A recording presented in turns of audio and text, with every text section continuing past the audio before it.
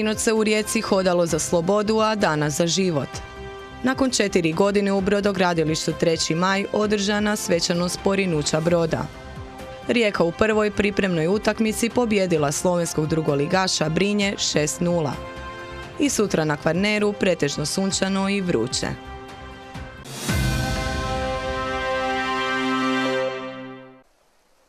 Nakon dvije godine pandemijske pauze održan je treći hod za slobodu u Rijeci.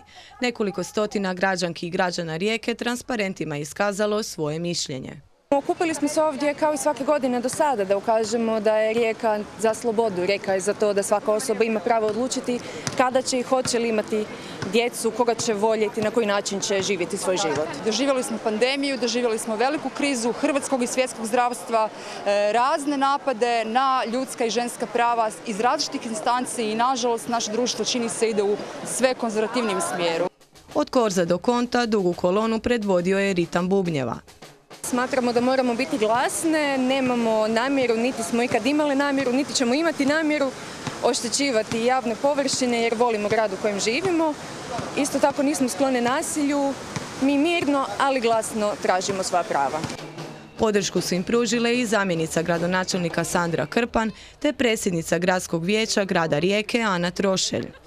Mislim da je jako važno da svi danas ovdje prisutni hodamo za slobodu, da pokažemo poruku iz rijeke cijeloj Hrvatskoj, da u 21. stoljeću pitanje ženskih prava, pitanja sloboda ne mogu biti ograničavajuće. Mi smo 2018. godine sudjelovali u organizaciji, a ove godine, kao i svake godine, smo došli dati podršku ovom za, za naš grad vrlo važnom hodu. Izuzetno je lijepo imati podršku gradske vlasti u našim nastojanjima i zadovoljni smo jer je grad Rijeka pokazao još jednom da je otvoren i spreman podržati ljudska prava. Dva sata ranije donešena je presuda Vrhovnog suda u Americi kojom se nakon 50 godina ukida pravo na pobačaj, bilo iz medicinskih razloga ili na zahtjev. Od 2018. kad smo prvi put hodali za ista pitanja, dakle e, pravo na slobodu izbora, pravo na odlučivanje svom tijelu, pravo na ljudska prava, e, pravo na jednak pristup institucijama, tako i zdravstvu, e, stvari se nažalost nisu pomaknule na bolje. Podršku ženama je kao i svake godine do sada pružio i veliki broj muškaraca.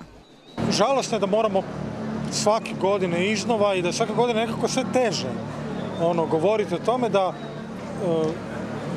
ljudi imaju pravo na svoje tijelo i na to, da odluče šta će sa svojim tijelom napraviti. I ako govorimo o abortusu, to sigurno nije lako. U 19.30 druženje se nastavilo na kontu u vidu raznih radionica i čakule o tome kakav hod za slobodu rijeka želi. Ovo je radionica izrada bombica od sjemenja, seed bombs, e, zapravo na neki način i samim ti je, ajmo reći, građanski neposluh, napravimo bombice i onda ih bacamo ovaj, na neuređena područja. Nažalost ili na sreću već u nekoliko godina imamo umjetničke impulse otpora. Nekad smo radili aktivistički nakit sa različitim porukama, a s obzirom da smo se danas ukupili tu na kontu, stavili smo jedno lijepo veliko platno i pozvali smo naše sugrađane i sugrađanke da izraze sve ono što ih tišti vezano za ovu temu. I ovdje sad radimo aktivističke stikere, znači, znači naljepnice nekakve koje su u stvari unikati, zato što se radi od samo lijepih folija, tako da svako može doći i napraviti jedan, onako na kreativni način zapravo izraziti svoju, svoje mišljenje vezano za cijelu ovu situaciju. Kao znak podrške tijekom jučerašnjeg dana na pročelju zgrade grada Rijeke na Korzu bila je izvješena zastava Hoda za slobodu.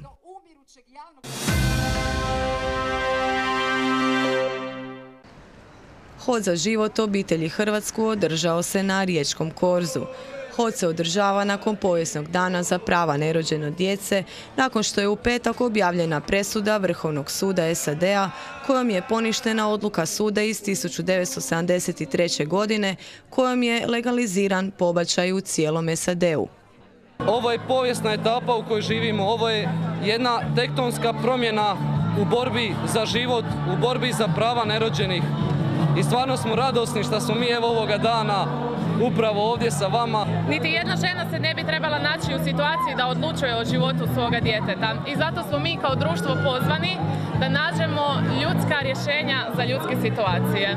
Današnji hod za život okupio je nekoliko stotina ljudi, ali svi su došli na Korzo s istim ciljem. Želim prije svega istaknuti zašto smo ovdje, zašto smo se svi okupili u ovolikom broju. Da proslavimo i štitimo život. Ljudsko, temeljno ljudsko pravo je upravo pravo na život. To je pravo iz kojeg proizlaze, iz kojeg nastaju sva ostala kako ljudska, tako i građanska prava. Zakon koji regulira pobačaj starije je 45 godina. To je stvarno porazna činjenica s obzirom da je medicina eksponencijalno se razvila u tom vremenskom periodu, dok je s druge strane zakonski okvir, odnosno zakon sam po sebi ostao nepromijenjen. Iskoristili su priliku i kako bi pozvali sve liječnike i medicinske sestre na priziv savjesti. Priziv savjesti je jedan hrabar i odvažan čin koji je uistinu hvale vrijedan. To je čin koji je u konačnici zaštićen i samim ustavom, točnije člankom 47. Djetetovo srce počinje kucati 18. dan od začeća. Dijete u mačinoj utrobi se smiješi, štuca, ima otisak prsta, ima razvijene sve organe. To je uistinu dijete.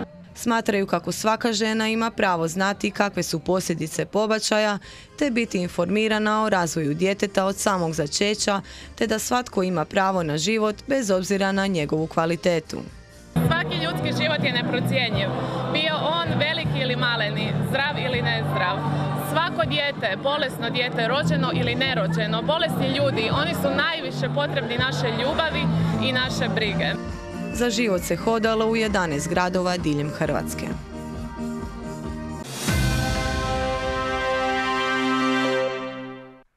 Nakon duge četiri godine u riječkom brodogradilištu 3. maj porinut je brod.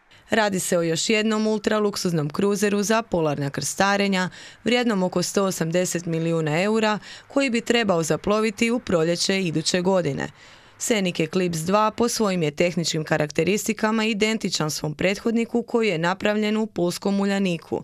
Brod je dugačak 168, a širok 21,5 metara, a dizajniran je i opremljen u najvišoj polarnoj klasi za sigurnu plovidbu u zahtjevnim morima Arktika i Antarktike. Kada bude u potpunosti završen i opremljen imat će šest zvijezdica sa kapacitetom od 228 gostiju.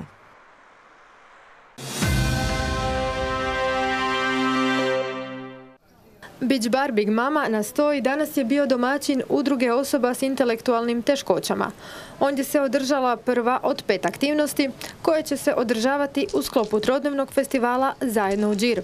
Festival okuplja dvadesetak osoba s intelektualnim teškoćama, a u sklopu festivala osobe će zajedno s općom i stručnom javnosti i svojim obiteljima u prirodi stvarati umjetničke radove, ispijati kave, plivati i baviti se različitim sportskim aktivnostima. Ovaj festival nastoje u okviru EU projekta unapređenje i širenje usluga izvan institucijske skrbi za osobe s intelektualnim teškoćama na području urbane aglomeracije Pula čija je vrijednost oko 2 milijuna kuna. Projektom su najviše zadovoljni sami klijenti. Koji sport volite? Ja se ne bavim sportom, ali volim se kupat ovdje.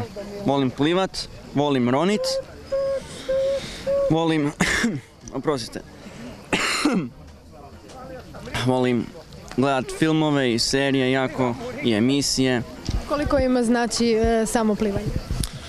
Molim, oprosti. Koliko im plivanje znači? U, super, stvarno, baš se osvježe se, umore se, to je jako dobra tijelovježba i puno njih nije ni znalo plivati, sad ih polako učimo i baš je onako zadovoljavajuće kad ih vidiš da napreduju ono iz dana u dan. Osobe s intelektualnim teškoćama su bile, ali još uvijek su vrlo stigmatizirane i nepoželjne u društvu. Kroz ovaj projekt želimo pokazati da svatko ima pravo na život u zajednici.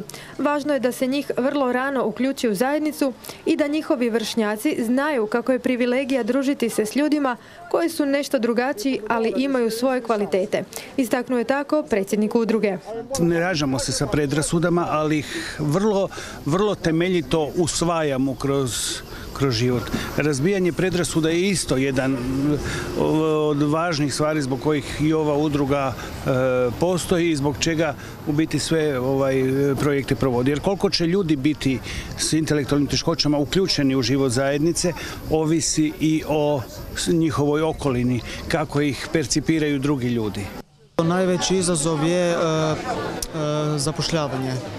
Zapošljavanje, znači gdje je eto, ovaj, e, kad je teško eto, ovaj, nekako i posao se zaposliti i onda ovaj, gledam znači, da steknem taj svoj rad, znači za koje ovaj, Što biste voljeli raditi? za vrtlara.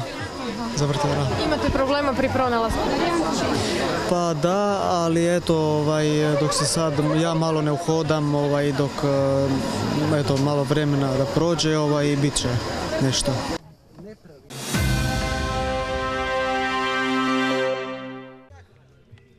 Održan je treći memorijalni sportski turnir Miftarević Prpić na Kastvu. Organiziran je od strane udruge hrvatskih branitelja Domovinskog rata Kastav, a u znak sjećanja na poginule hrvatske branitelje Brunu Prpića i Emila Miftarevića. Počeli smo rano ujutro sa obilaskom naših dvoje poginulih, znači Miftarevića i Prpića, sa roditeljima i sa udovicama. To smo rano ujutro obavili, posjetili grobove, zapalili svijeće. Nakon polaganja vijenaca uslijedilo je druženje, a nastojati će se ovakva druženja pretvoriti u tradiciju.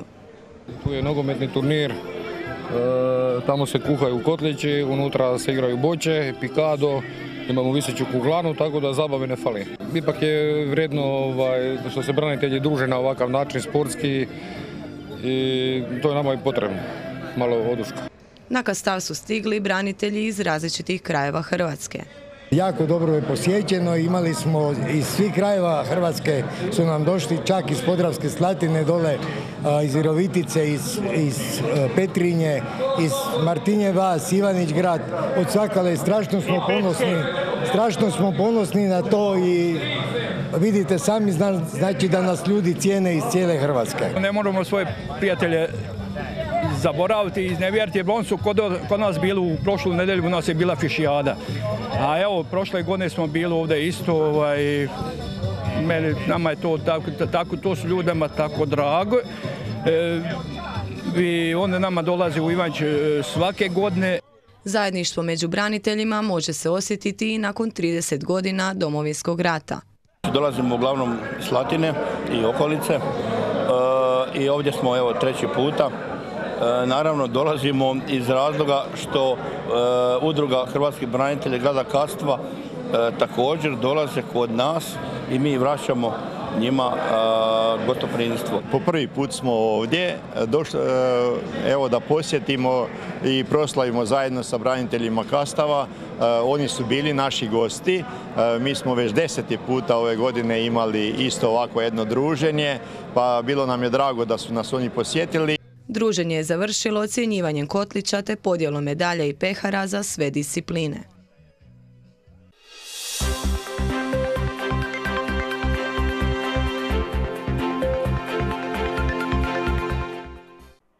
Rijeka je u prvoj pripremnoj utakmici ove sezone pobjedila slovenskog drugoligaša Brinje 6-0. U četvrtoj minuti Rijeka je povela golom Bušnje. Vučkić i Obregon su u prvom poluvremenu bili precizni s bijele točke za 2, odnosno 3-0. U drugom dijelu Rijeka je još tri puta tresla mrežu gostiju na Rujevici. Friganu u 55. minuti povisuje na 4-0, a za najljepši gol na utakmici pobrinuo se Mato Stanić u 62. minuti. Konačni rezultat postavlja Mario Vrančić 10 minuta prije kraja utakmice. Rijeka 6, Brinje 0. Pa zadovoljni smo, znači s prvim i drugim polovremenom, znači sve ono što smo dogovorili smo odradili, znači normalno da je za prvu utakmicu bilo je nekih sitnih grešaka i toga, ali to ćemo ispravljati kroz, treninge, naravno ima još vremena. Znači danas mi je bilo bitno znači, da daju sve od sebe, što i jesu i bilo je na eh, clean sheet što je izuzetno bitan, znači odmah navika da ne primamo golove. Znači to će biti onaj primarni cilj ove godine da, da, da teško dobijemo golove, a zabit ćemo ga uvijek. Koliko je, odnosno kakav je plan sad u idućim danima što se tiče rasporeda treninga i obveze ekipe? Pa pošto smo ih ovaj tjedan dosta opteretili, znači sutra jedan lakši trening, eh, nedjelja slobodne, u ponedjeljak ujutro trening i nakon toga krećemo za Kransku goru.